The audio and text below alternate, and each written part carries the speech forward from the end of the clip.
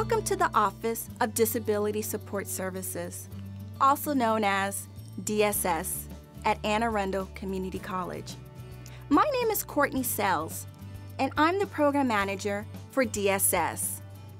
Do you suspect that you might have an undiagnosed disability that impacts your ability to complete coursework successfully?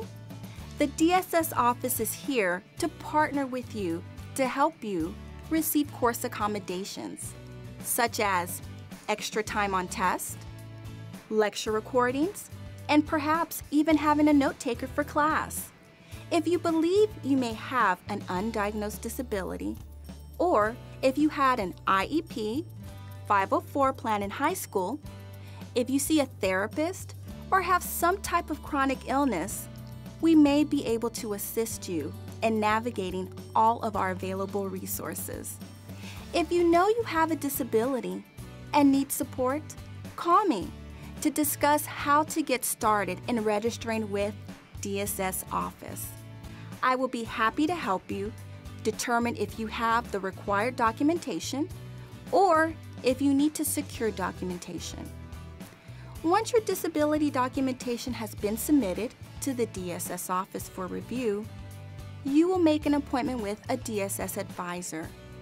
At that appointment, you and the advisor will determine what course accommodations you are eligible to receive, and you will be coached on how to present the forms to your instructors.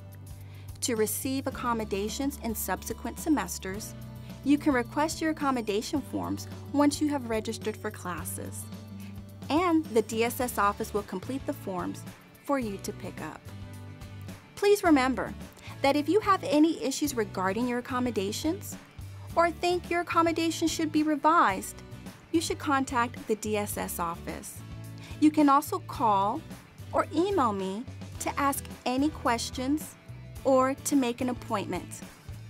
Disability Support Services is the right place to start to get the help you need.